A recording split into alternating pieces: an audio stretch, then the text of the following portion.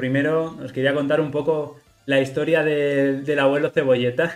quería contaros un poco cómo ha sido mi evolución con esto de Colding y también cuál es una de las facetas un poco más complicadas cuando estamos trabajando como, como formadores, como en mi caso. Y es que la tecnología avanza tan rápido que es un poco difícil encontrar el momento exacto en el que algo es lo suficientemente relevante ya como para empezar a aprenderlo, eh, porque si empiezas a explicar algo antes de tiempo, lo que te puede ocurrir es que no haya suficiente gente interesada en ello y por tanto no, no genere ese contenido que requiere su esfuerzo y su, trabajo, no genera la atracción que uno espera. Y por el contrario, si te vas muy adelante ya hay mucha gente que, que ya se conoce todo lo que estás contando, la mayoría de la gente ya ha hecho la transición a esa nueva tecnología y por tanto tampoco es relevante ese contenido y puedes eh, llegar tarde y estar hablando sobre temas que, ya no, no impacten demasiado.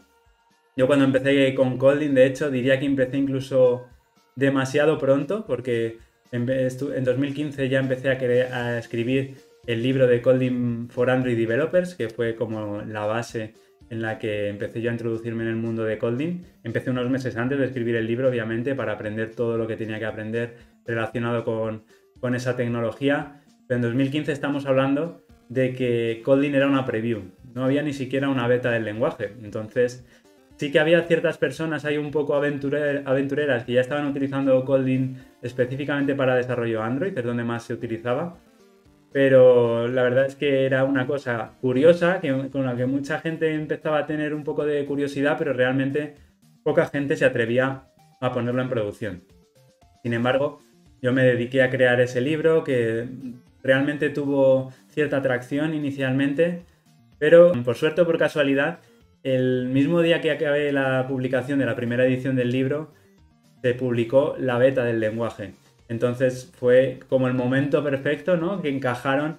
Eso fue más suerte que otra cosa. Encajaron, se alinearon los astros para que justo en el momento que publicaba el libro fue el momento en el que Colding dio un empujón enorme. Os podéis imaginar que cuando se publicó la beta ya es un cambio importante, ¿no? Porque aunque pueda haber bugs, pero tú ya puedes usar esa tecnología sin miedo a que te la vayan a cambiar y por tanto lo que funcione durante la beta va a funcionar durante una release en una early access puede haber problemas. De hecho, me acuerdo de algunas cosas que existían en el coding original y que no existen hoy en día, como por ejemplo que podíamos, si no recuerdo mal, era que se podían extender de, de varias, se podía hacer herencia múltiple mediante una forma que era que las interfaces podían extender eh, clases y por tanto se podían combinar en una especie de, de, herencia múltiple que encontraron algunos, algunos fallos que eran imposibles de resolver y entonces al final decidieron cortar por ahí. Y eso es algo que nunca se ha vuelto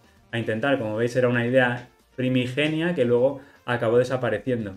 Pero una vez que tienes la beta ya sabes que todo de ahí en adelante va a seguir, a seguir funcionando. Y por tanto fue un momento ideal un poco por suerte, pero sí que es verdad que me adelanté un poco al momento. Fue una apuesta que podría haber salido muy mal, pero por suerte eh, al final Colding se, adoptó muchísimo en el desarrollo Android. Y ahí está el, llegó hasta el nivel en el que en el que en 2017, un par de años después, Google lo adoptó como lenguaje cooficial y en 2019 como el lenguaje principal para desarrollar aplicaciones Android. En 2017, en el momento en el que se presentó eso, yo todavía no había creado ningún curso online, solo tenía la, formación de coding para desarrolladores perdón, solo tenía el libro de coding para desarrolladores Android y hacía alguna formación en empresas, pero el curso online no estaba ahí todavía. Entonces me puse a tope a, eh, a, crear ese curso porque obviamente ese era un claro momento de inflexión en el que mucha gente sabía que Colding estaba ya soportado oficialmente por Google y por tanto la transición era inminente, pero había muchas personas que todavía no conocían cómo, cómo trabajar con Colding. Entonces ese fue un momento ideal para crear la formación de, de Colding para desarrolladores Android. Eh, surgió en el momento ideal y era un momento claro, ¿no? Un momento en el que no había ninguna duda de que era un punto de inflexión y que iba a haber mucha gente interesada en ello. Pero claro, ahora estamos en 2022, han pasado cinco años desde ese 2017, de hecho hace nada se cumplieron los cinco años desde que Google anunció esto. Y estamos con una formación que es verdad, Kotlin para desarrolladores Android, es verdad que todavía sigue interesando a algunas personas, pero nos hemos, estamos en una situación totalmente contraria ¿no? a la anterior. Ahora ya estamos como pasando el tren en el que la mayoría de las personas que desarrollan en Android ya conocen Kotlin en mayor o menor medida y además, bueno, hay una saturación del, mercado de contenido que obviamente yo sigo considerando, porque si no, no lo tendría ahí, que mi formación es superior por, por ciertos motivos, pero obviamente quien más, quien menos podría llegar a aprender por su cuenta requiriendo un poco de esfuerzo extra, sin soporte, etc. Todos sabemos que las formaciones tienen sus ventajas, pero ya sabéis que a mí me gusta llevar todo a, un nuevo nivel y que no me gusta conformarme con tener cursos buenos, sino que quiero tener las, mejores formaciones en el mercado. Y, eso me pasó con Compose Expert, ¿no? Llegó un punto en el que salió la versión 1.0 de, de Compose y ya estaba bastante claro que era un momento nuevamente de inflexión en el que la gente tiene que empezar a aprender esa nueva tecnología. Y por eso es por lo que en los meses anteriores he estado muy enfocado en Compose Expert, en crear esa formación para aprender Jetpack Compose desde cero y nuevamente una formación que no se quedara en la superficie. De hecho, la superficie ya sabéis que está pública, que podéis acceder todos a, aprender eh, con más de tres horas de contenido gratuito pero los que quieren ir más allá, los que quieren aprender la tecnología en profundidad, tienen una formación que va mucho más allá de cualquier otra formación eh, gratuita o de pago que os podáis encontrar. Y nuevamente llegó el punto en el que Architect Coders seguía siendo potente porque es una formación que es verdad que incluso con el contenido que había anteriormente se puede aprender muchísimo y se puede eh, avanzar muchísimo como profesional, ya no solo de, aprendizaje de tecnologías, sino como programador, algo que te vas a poder llevar a cualquier entorno de programación. Pero este mundo avanza muy rápido y había cosas que se estaban quedando un poco atrás. Y por eso, a principios de este año, con la nueva edición, decidí regrabar Architect Coders desde cero. Y, la verdad que se ha quedado una formación súper potente. No sé si habrá alguien de Architect Coders de esta edición o que le haya echado un ojo, pero la verdad que hemos acabado con un contenido sobre arquitecturas, inyección de dependencias, testing, que me atrevo a decir, no, obviamente no he revisado todas las formaciones, pero me atrevo a decir que no hay una formación que se le acerque siquiera al contenido que tenemos en Architect Codes. Muchas gracias a, los alumnos, a Nicolás, a David. Genial. Em, entonces, que, estaba comentando, ¿no? Que como que Kotlin se ha quedado un poco atrás y, yo creo que ya no es tan importante el aprender Kotlin aplicado a desarrollo Android, sino el aprender Kotlin en todas las tecnologías. De hecho, dejadme compartir pantalla porque estos días eh, he estado enviando algunas encuestas a distintas redes. Os preguntaba que, ¿Qué, os apetece aprender a partir de ahora relacionado con, con Kotlin, más allá de Android? Porque para los que vengáis de nuevas con Kotlin y estéis en este directo, no conozcáis mucho cuál es el alcance, en realidad Kotlin empezó como una solución más para la máquina virtual de Java, como pueden ser Groovy, como pueden ser Scala, son lenguajes que aprovechan la máquina virtual de Java, pero que, que mejoran Java, o bueno, lo mejoran o, o se diferencian de ellos de una forma u otra. En el caso de Kotlin lo mejora notablemente con, una, con unas funcionalidades mucho más avanzadas y que simplifican mucho más el código que las que teníamos en Java. Java últimamente está intentando ponerse las pilas, pero obviamente alcanzar el punto de Kotlin todavía le, requerirá un poco y al final llevará cierto lastre que será difícil de, gestionar.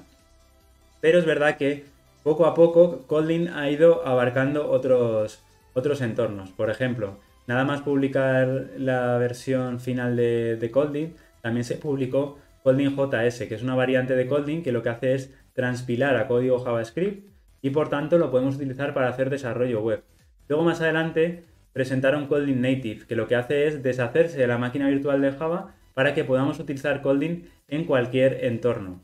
¿Y qué ventajas nos da esto? Pues básicamente que podemos desarrollar prácticamente en cualquier eh, tecnología, porque vamos a compilar código máquina y por tanto ese código lo pueden leer eh, infinita, vamos, infinidad de aplicaciones. Se puede ejecutar una aplicación en escritorio, podemos hacer una aplicación para Raspberry Pi, por ponernos un ejemplo. Incluso, y esto son cosas muy curiosas, podemos, eh, gracias a Kotlin, a Native y luego eh, su, mezcla con Kotlin Multiplatform, podemos incluso tener código compartido entre, entre apps tan dispares como Android y iOS. Luego podemos entrar un poco más a fondo qué diferencias hay entre esta multiplataforma y otras, como podemos encontrarnos con Flutter, etc.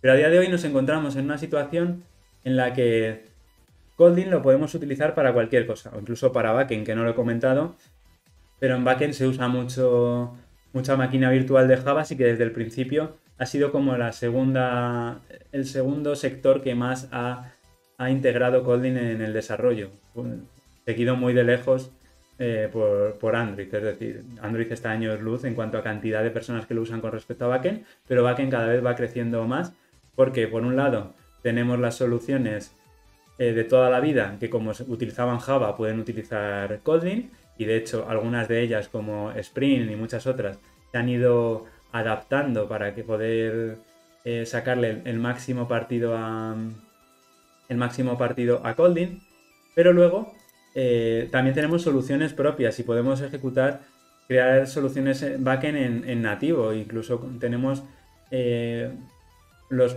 tenemos soluciones propias de Kotlin como Skater que nos permiten crear backends y además luego consumirlos desde las, desde las aplicaciones con la misma librería y por tanto se integran eh, perfectamente ¿no? las aplicaciones con, con, backend.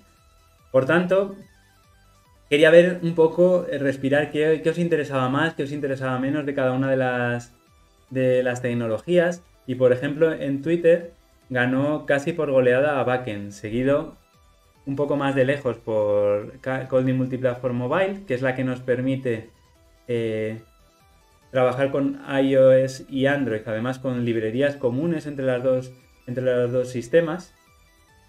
Es verdad que la UI de iOS no se puede escribir a día de hoy en Kotlin, pero bueno, todo se andará en el futuro. Pero en cualquier caso, eso que parece un inconveniente también es una de las ventajas y los que diferencian este Kotlin Multiplatform de otras multiplataformas. Luego, eh, seguido un poco después, teníamos Kotlin Multiplatform a secas. Kotlin Multiplatform al final es lo que nos permite compartir entre todas las tecnologías y podríamos, por ejemplo, tener una aplicación con, vamos, todas las aplicaciones de una, de una empresa escritas 100% en Kotlin o 90% en Kotlin, hay algunos pequeños detalles que no, y que todas las aplicaciones compartan el mismo código. Por ejemplo, si tenemos lógica de negocio podríamos estar compartiendo esa lógica de negocio con la, con la UI y con el, y, con el backend y, todos eh, trabajando en conjunto con una misma base de código, lo cual lo hace súper potente. No sé si hay alguna tecnología multiplataforma a día de hoy que lo consiga. El otro día vi como una librería experimental que, que, permitía hacer backends muy sencillos en Flutter, pero aquí estamos hablando de, de otro nivel, estamos hablando de compartir todo el código que queramos en, cualquier plataforma y en cualquier dispositivo. Y por tanto, esto da unas ventajas, sobre todo si estamos pensando en el ámbito empresarial, a una empresa de producto le puede, resultar una solución súper interesante, ¿no? El adoptar Kotlin como, como el lenguaje y el ecosistema para crear todas sus aplicaciones. Entonces, aquí veíamos en Twitter que, que ganaba backend. Sin embargo, si nos vamos a, YouTube, bueno, en YouTube tenemos más o menos la misma representación, backend, seguido de Kotlin Multiplatform Mobile, Kotlin Multiplatform y Frontend. Si nos vamos a LinkedIn, por el contrario, gana por goleada Kotlin Multiplatform Mobile. Debe ser que tengo muchos más seguidores mobile en, LinkedIn que en otras plataformas y por eso vemos un poco también esto. Aunque backend vuelve a ser uno de los más eh, interesantes, porque al final si lo pensamos, cualquiera de los que estamos desarrollando aplicaciones frontend, vamos a querer en algún momento desarrollar un backend y, saber cómo con el mismo lenguaje que estamos utilizando para el desarrollo Android, obviamente eh, es, es, interesante. No sé a vosotros, pero a mí realmente sí que me llama la atención el poder desarrollar una aplicación de escritorio y web con un código muy similar al que estoy utilizando para desarrollar una aplicación Android. Porque la ventaja que tiene también Kotlin es que gracias a Jetpack Compose, la librería que se creó para desarrollar interfaces en Android recientemente, esta librería es, está muy bien pensada porque tiene una parte que es el runtime, que funciona a su rollo, el runtime y el compilador, y luego tenemos otra librería que es la de UI, que es la que realmente con ese runtime modela el resultado final de la UI. Entonces, si nosotros reescribimos la UI, todo el runtime de Compose nos sigue sirviendo. Eso es lo que han hecho la gente de JetBrains para darnos soluciones para crear aplicaciones desktop y aplicaciones web con Jetpack Compose. Bueno, con Compose a secas, no Jetpack Compose. Jetpack Compose sería la específica de, Android. Y por tanto podemos incluso llegar a compartir partes de la, de la UI, quizá a más alto nivel, eso es algo que todavía tengo que, investigar, pero nos, permite incluso compartir parte de la lógica de, de, UI entre las distintas aplicaciones. Por lo tanto, yo creo que es algo es muy interesante para desarrollo multiplataforma también. Simplemente preguntaba por curiosidad, porque en realidad con lo que tengo planteado y lo que voy a presentar hoy lo vais a poder aprender realmente todo. Pero para ello, para desvelaros cuál es la novedad, lo que voy a hacer es quitarme la camiseta, no os asustéis mucho.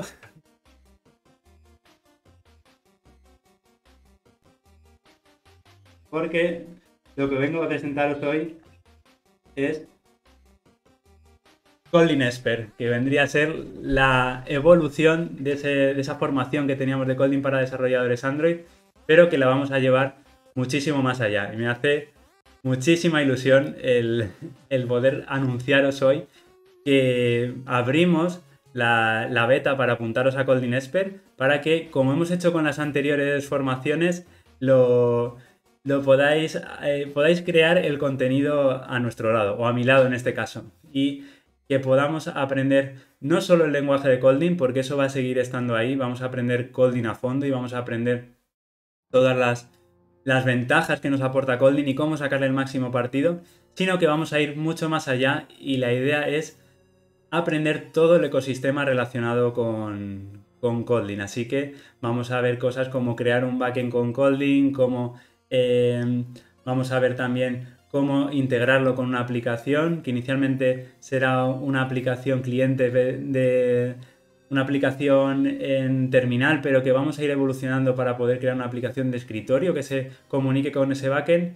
Y luego vamos a ir más allá para ir eh, aprovechando todas las tecnologías de Kotlin para llegar a, poder crear un entorno empresarial donde todas las aplicaciones estén corriendo este, en este lenguaje y aprovechando al máximo, eh, compartiendo entre todas ese, ese código que os comentaba gracias a todas estas tecnologías. Lo que os quería enseñar es un poco qué es lo que va a incluir tentativamente esta formación, porque como siempre hago, hice con Compose y creo que funciona muy bien, lo que me gusta más es ir recibiendo feedback de vuestra parte, sabiendo realmente si lo que estamos explicando eh, va por buen camino, si hace falta eh, seguir la dirección un poco que, vayamos marcando, pues me gusta escucharos para ver cómo vais avanzando, cómo, qué es lo que entendéis mejor, lo que entendéis peor, si creéis recibir el feedback para, por si creéis que alguna cosa se puede mejorar y por tanto esta vez no va a ser distinto y la vamos a ir, eh,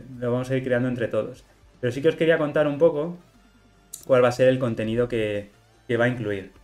Vamos, este texto del principio es más o menos lo que os he contado. Vamos a, dominar todas las features del lenguaje, por supuesto.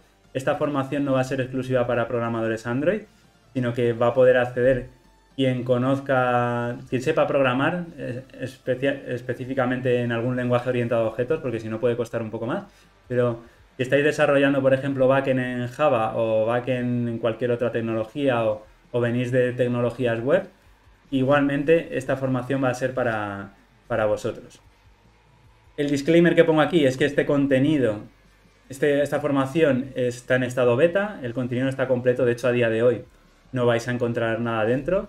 Esto va, a ser una, formación que, como os digo, vamos a ir creando juntos y por tanto eh, no esperéis entrar hoy y encontrar todo este contenido porque se irá creando durante los próximos meses.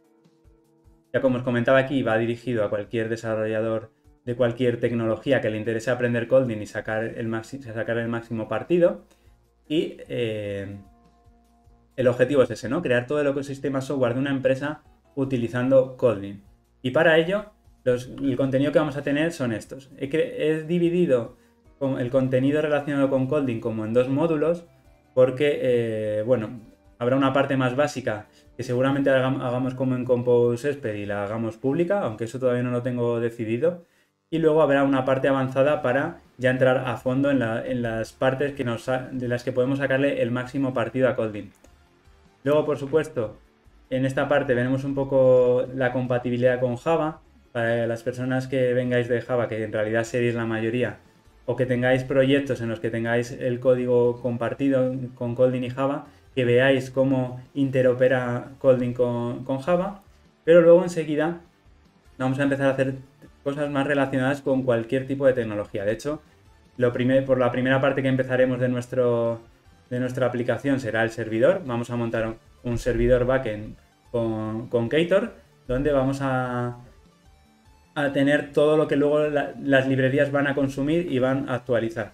Haremos una aplicación, todavía no tengo muy decidido qué aplicación será, a lo mejor hacemos una aplicación de notas o alguna cosa así que nos permita no solo leer datos, sino también actualizar el servidor con esos datos. Y una vez que tengamos el servidor montado, empezaremos a consumirlo con distintos clientes.